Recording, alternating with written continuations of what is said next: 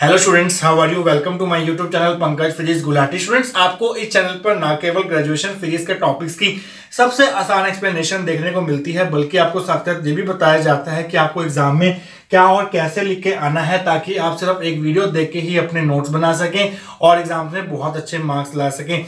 तो स्टूडेंट्स आज ही चैनल को सब्सक्राइब कीजिए और पाइए नोटिफिकेशन मेरी नई वीडियो का सबसे पहले। इसी कैटेगरी में आगे बढ़ते हुए आज हम बात करेंगे B S BSc second sem semiconductor devices unit one के एक और इंपॉर्टेंट टॉपिक के बारे में जिसका नाम है हॉल अफेक्ट देखिए स्टूडेंट्स हाल इफ़ेक्ट फिजिक्स के अंदर बहुत ही इंपॉर्टेंट इफ़ेक्ट माना जाता है क्योंकि इसकी बहुत सारी एप्लीकेशंस हैं। जैसे कि अगर आपने किसी सब्सटेंस में nature of charge carriers determine करना है कि किसी सब्सटेंस में पॉजिटिव चार्ज करियर्स प्रेजेंट हैं या फिर नेगेटिव चार्ज करियर्स प्रेजेंट है, वो हॉल इफ़ेक्ट की हेल्प से हम पता लगा सकते हैं।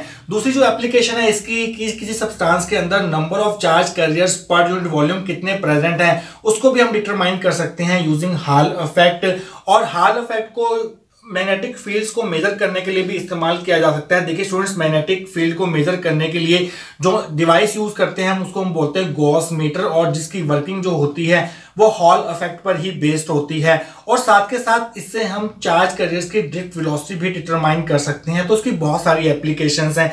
तो हॉल इफ़ेक्ट को समझने के लिए आपको एक डायग्राम को समझना पड़ेगा। वो डायग्राम अगर आपको समझ आ गया तो हॉल इफ़ेक्ट क्या होता है वो आपको अपने आप समझ आ जाएगा। तो सबसे पहले देखते हैं कि हॉल इफ़ेक्ट का जो वर्किंग है जो डायग्राम है, पहले वो हम समझ लेते हैं।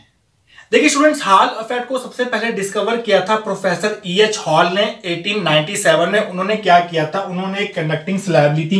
ये है हमारी कंडक्टिंग स्लैब हमने यहाँ पर इसकी जो थिकनेस ली है, वो स्मॉल टी ली है और जो इसकी विथ ली है, वो डब्ल्यू ली है। तो देखिए स्टूडेंट्स उन्होंने क्या किया? इस कंडक्टिंग स्लैब को एक एक्सटर्नल बैटरी से जोड़ दिया, जिसका पॉजिटिव टर्मिनल इधर होगा नेगेटिव टर्मिनल इधर होगा। तो यहाँ पर जो करंट फ्लो होगा, वो ऐसे फ्लो होगा पॉजिटिव टू नेगेटिव तो डायरेक्शन जो है करंट की वो ऐसे रहने वाली है, जो हमने एरो से यहाँ पर शो की है। तो स्टूडेंट्स आप जानते हैं कि जो कंडक्टर के अंदर इलेक्ट्रॉन्स की मूवमेंट होती है, वो हमेशा इलेक्ट्रिक करंट के ऑपोजिट डायरेक्शन में होती है। तो अगर इलेक्ट्रिक करंट इस डायरेक्शन में फ्लो कर रहा है तो इसके अंदर जो इलेक्ट्रॉन्स प्रेजेंट हैं, ये हमने इलेक्ट्रॉन्स यहाँ पर शो किए हैं। ये इलेक्ट्रॉन जो है they will move in a direction opposite to the flow of electric current अगर इलेक्ट्रिक करंट इधर जा रहा है तो इलेक्ट्रॉन जो है वो इधर जाएँगे। फिर उन्होंने क्या किया? उन्होंने मैग्नेटिक फ़ील्ड अप्लाई कर दिया perpendicular to the direction of the current current हमारा एक्स एक्सिस की तरफ़ जा रहा था पॉजिटिव एक्स एक्सिस की तरफ़ जा रहा था। ये देखिए, ये हमारी एक्स एक्सिस है, ये वाई एक्सिस है, ये जेड एक्सिस है। तो करंट हमारा इधर जा रहा है।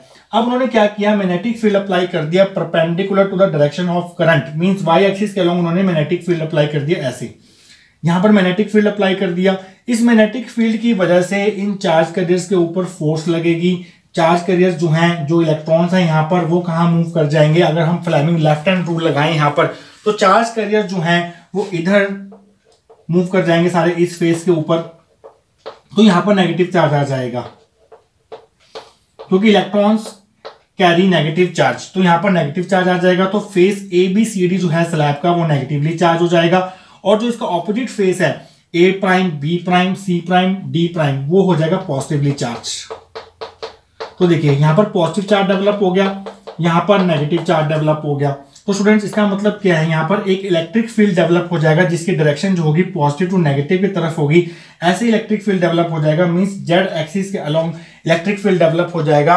और ये जो इलेक्ट्रिक फ़ील्ड डेवलप होगा, इसी को हम हॉल फ़ील्ड कहते हैं। और जो इलेक्ट्रिक फ़ील्ड की डायरेक्शन होगी, वो परपेंडिकुलर होगी। किसके? करंट के भी परपेंडिकुलर होगी। जिस डायरेक्शन में करंट फ्लो कर रहा है, उसके परपेंडिकुलर भी होगी उस इलेक्ट्रिक फ़ील्ड की डायरेक्शन और साथ के साथ इस डायरेक्शन में हमने मैग्नेटिक फ़ील्ड अप्लाई की है तो इसके परपेंडिकुलर भी होगी मीन इलेक्ट्रिक फ़ील्ड जो यहाँ पर इंड्यूस हुआ है that electric field will be perpendicular to the current moving in positive X direction and magnetic field applied in Y direction तो इसी इफ़ेक्ट को बोला जाता है हॉल इफ़ेक्ट तो स्टूडेंट्स ये डायग्राम आपको बना के आना है एग्ज़ाम के अंदर. तो आइए स्टूडेंट देखते हैं कि हॉल इफ़ेक्ट की अगर आपको क्वेश्चन आता है तो आप थ्योरी में क्या लिख के आएँगे स्टार्टिंग में? और फिर आप कैसे उस हॉल वोल्टेज को निकालेंगे, उसका एक्सप्रेशन और साथ ही साथ हम हॉल कॉफिशियंट की वैल्यू भी निकालेंगे? तो आइए देखते हैं स्टूडेंट थ्योरी में आप क्या लिख के आएँगे?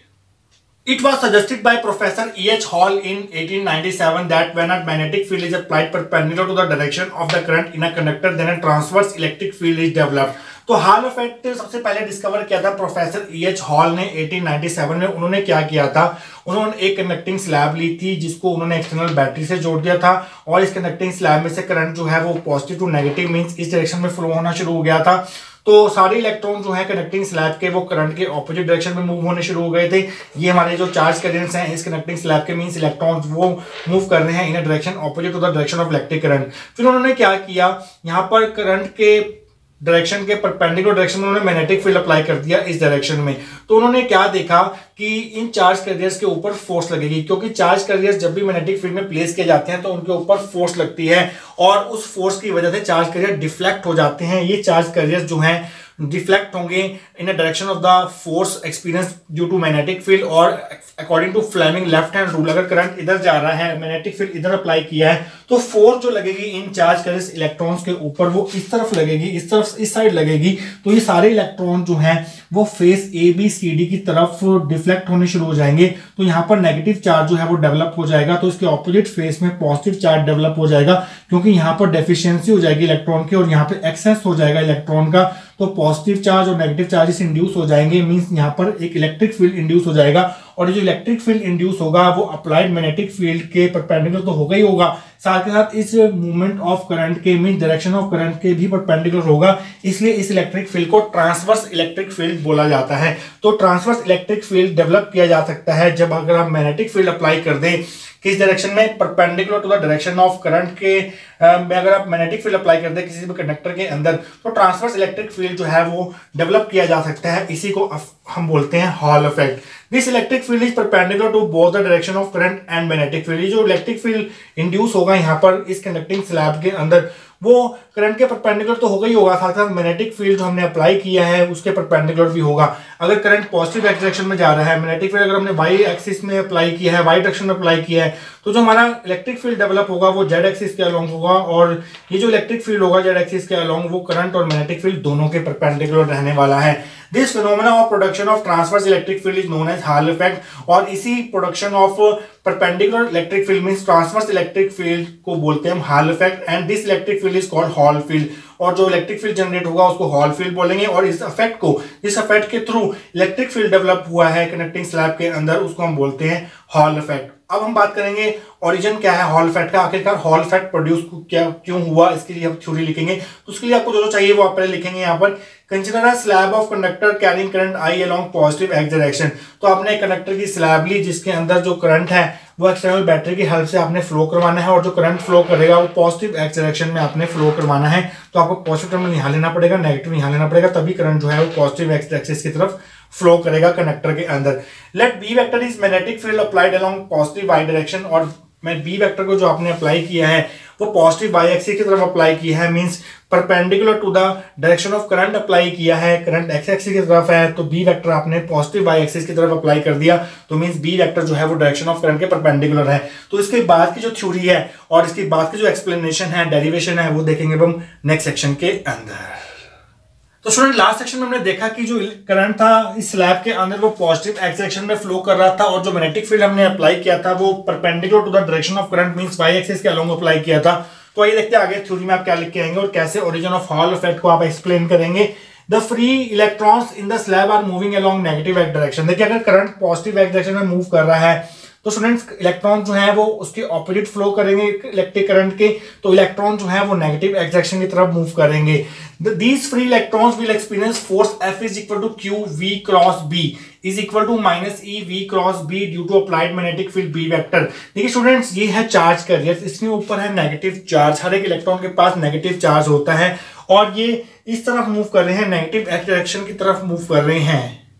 और जिस विलोसिटी से ये नेगेटिव एक्जेक्शन की तरफ़ मूव कर रहे हैं, उसको हम बोलते हैं ड्रिफ्ट विलोसिटी तो यहाँ पर उनके ऊपर, क्योंकि यहाँ पर मैग्नेटिक फ़ील्ड अप्लाई किया हुआ है वाई डायरेक्शन में तो उनके ऊपर एक लॉरेंस फोर्स लगेगी, जिसको हम बोलते हैं मैग्नेटिक फोर्स और उस फोर्स की वैल्यू अगर आप जानते हैं कितनी होती है Q into V cross B जो फोर्स लगेगी, वो वी क्रॉस बी प्लेन के परपेंडिकुलर होगी मीन जो फोर्स लगेगी उनको, वो जेड एक्सिस की तरफ़ लगेगी। तो स्टूडेंट्स क्योंकि वी जो है वो नेगेटिव एक्स डायरेक्शन में है बी जो है वो वाई डायरेक्शन में है तो फोर्स जो है वो उनको इधर लगने वाली है। क्योंकि क्यू यहाँ पर चार्ज है चार्ज कैरियर का और हर एक इलेक्ट्रॉन पर जो चार्ज होता है वो माइनस ई होता है और वी यहाँ पर ड्रिफ्ट वेलोसिटी ऑफ़ इलेक्ट्रॉन के बराबर लेंगे। आप वी की जगह वी डी वैक्टर पुट करेंगे इनटू बी वैक्टर तो स्टूडेंट्स आइए देखते हैं क्या होगा इस फोर्स के कारण।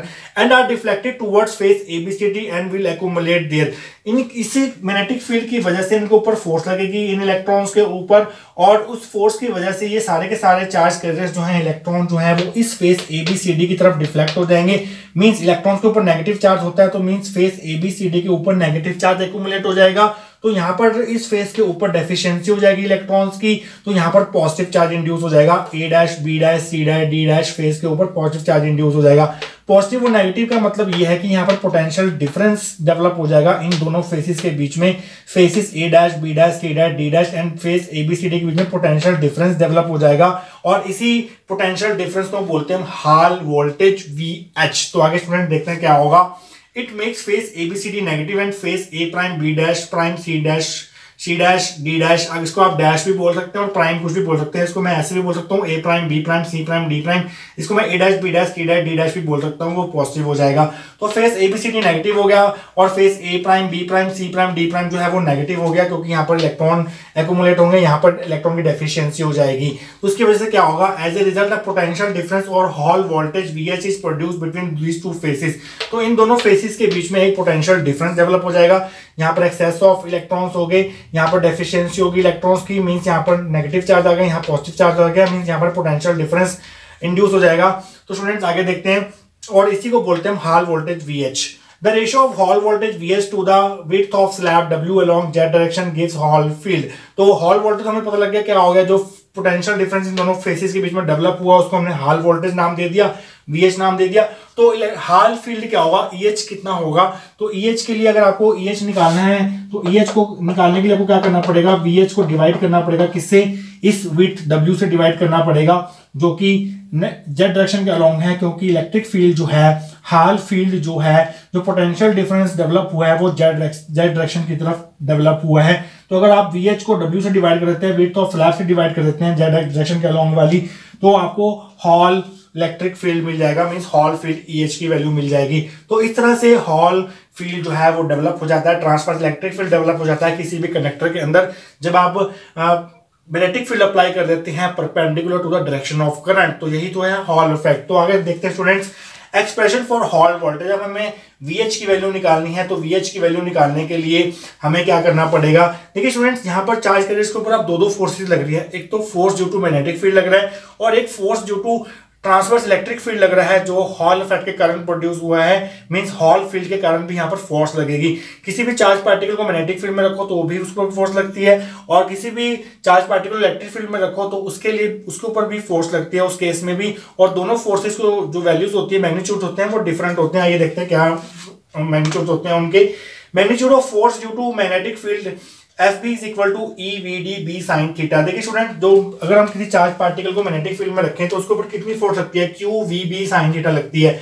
तो जो चार्ज का मैग्नीट्यूड होता है क्यू की जो वैल्यू होती है इलेक्ट्रॉन के लिए, वो ई e लेंगे हम। यहाँ पे हम साइन की बात नहीं करेंगे फोर्स के मैग्नीट्यूड ले रहे हैं यहाँ पर।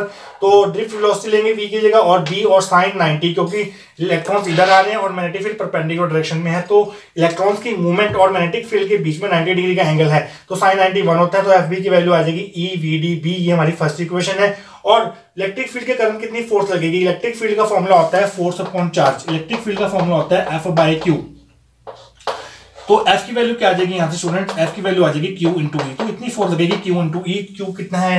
इलेक्ट्रॉन के ऊपर E magnitude of charge on electron is E और ई e कौन सा लेंगे आप? हॉल फ़ील्ड लेंगे, जो ट्रांसफ़र इलेक्ट्रिक फ़ील्ड डेवलप हुआ है, जिसको हम ई e एच से डिनोट करते हैं तो यहाँ पर आप ई e एच लिखेंगे। तो ये हमारी सेकंड इक्वेशन है। तो नेक्स्ट स्टेप हम क्या करेंगे? इक्विलिब्रियम में क्या होगा? मैग्नेटिक फ़ील्ड की जो फोर्स होगी, और जो इलेक्ट्रिक फ़ील्ड की फोर्स होगी, वो इक्वल हो जाएगी। और वहाँ से उसको आगे सॉल्व करते हुए हम फाइंड करेंगे हॉल वोल्टेज का एक्सप्रेशन तो आइए स्टूडेंट देखते हैं, बची हुई डेरिवेशन देखिए स्टूडेंट जब इक्विलिब्रियम आ जाएगा तो इलेक्ट्रॉन के ऊपर लगने वाली electric force and magnetic force का जो मैग्नीट्यूड है वो बराबर हो जाएगा। तो इन इक्विलिब्रियम क्या होगा? Force due to magnetic field and force due to electric field जो है वो बराबर हो जाएँगे। अभी हमने पिछले सेक्शन में एफ़ की वैल्यू फाइंड की थी, वो कितनी निकली थी? ई वी डी बी निकली थी और force due to electric field कितनी निकली थी इलेक्ट्रॉन के ऊपर? ई इंटू ई एच निकली थी। ई e एच यहाँ पर हॉल फ़ील्ड है। तो स्टूडेंट्स यहाँ से आप ई e से ई e काट सकते हैं और वीडी की जो वैल्यू आ जाएगी, यहाँ से वो आ जाएगी ई एच अपॉन बी ये हमारी थर्ड इक्वेशन है। देखिए स्टूडेंट्स हम जानते हैं कि जो इलेक्ट्रिक करंट है, किसी भी कंडक्टर के अंदर वो number of charge carriers per unit volume पे डिपेंड करता है और जो उनके बीच में रिलेशन होता है ड्रिफ्ट वेलोसिटी एंड करंट के बीच में। तो आइए देखते हैं वो क्या होता है। The electric current in the slab is given by I is equal to A N E V D यहाँ पर एक क्रॉस सेक्शनल एरिया है। एन यहाँ पर number of charge carriers per unit volume है ई इलेक्ट्रॉनिक चार्ज है VD है drift velocity जिसके द्वारा, जिसके साथ इलेक्ट्रॉन जो है इधर मूव कर रहे हैं नेगेटिव एक्स डायरेक्शन की तरफ़। तो एरिया ऑफ़ सेक्शन कैसे निकालेंगे आप? लेंथ इनटू ब्रेथ करके हमारी जो लेंथ यहाँ पर होगी, वो डब्ल्यू होगी और जो ब्रेथ होगी यहाँ पर टी का काम करेगी।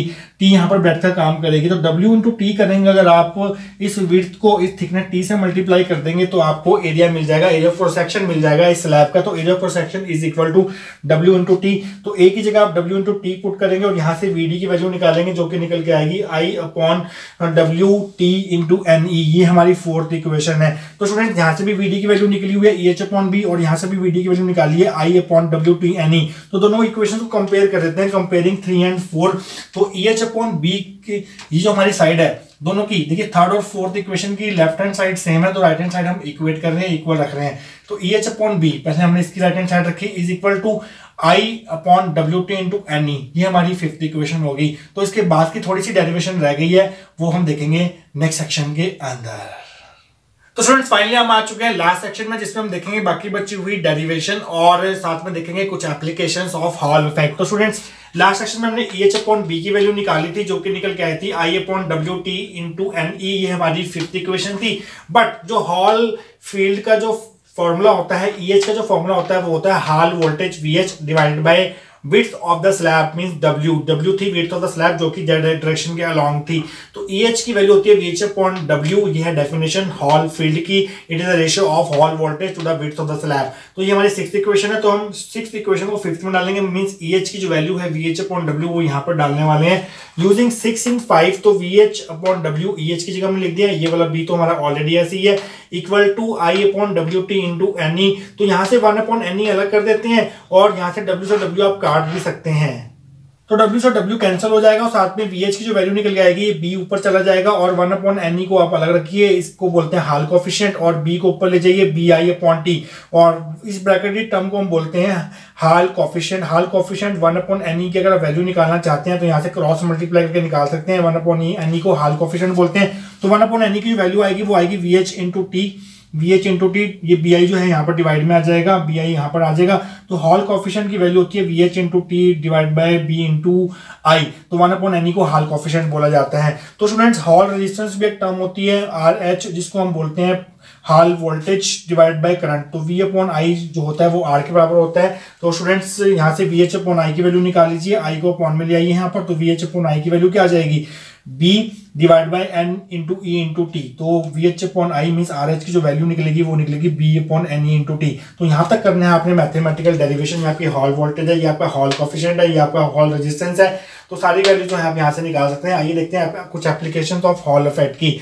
Hall effect can be use to determine nature of charge carriers इससे हम चार्ज करियर्स का नेचर डिटरमाइन कर सकते हैं, पता लगा सकते हैं किसी सब्सटेंस के अंदर पॉजिटिव चार्ज करियर्स प्रेजेंट है या फिर नेगेटिव चार्ज करियर्स प्रेजेंट है। The number of charge carriers per unit volume can be determined by using Hall effect N की वैल्यू निकाल सकते हैं हम। यहाँ से एन की वैल्यू निकाल सकते हैं। अगर आपको वी की वैल्यू पता है बी पता है आई पता है टी पता है ई e पता है तो हम यहाँ से number of charge carriers per unit volume भी निकाल सकते हैं किसी सब्सटेंस के अंदर। Third point Hall effect can be use to measure magnetic field B की वैल्यू निकाल सकते हैं। अगर बी अननोन है, बाकी सारी चीज़ें नॉन है तो आप वहाँ से भी बी की वैल्यू निकाल सकते हैं। The device use to measure magnetic field is called gauss meter जिस डिवाइस के द्वारा मैग्नेटिक फ़ील्ड मेजर किया जाता है, उसको गॉस मीटर बोलते हैं उसकी जो वर्किंग होती है, वो हॉल इफ़ेक्ट पर बेस्ड होती है। Fourth. Hall effect can be use to determine drift velocity VD of charge carriers यहाँ से आप वीडी की वैल्यू भी निकाल सकते हैं। तो स्टूडेंट्स ये हैं आपकी different application of Hall effect तो स्टूडेंट्स आई होप आपको आज की डेरिवेशन जो है वो समझ आई होगी। मिलेंगे किसी और वीडियो में। Till then thank you so much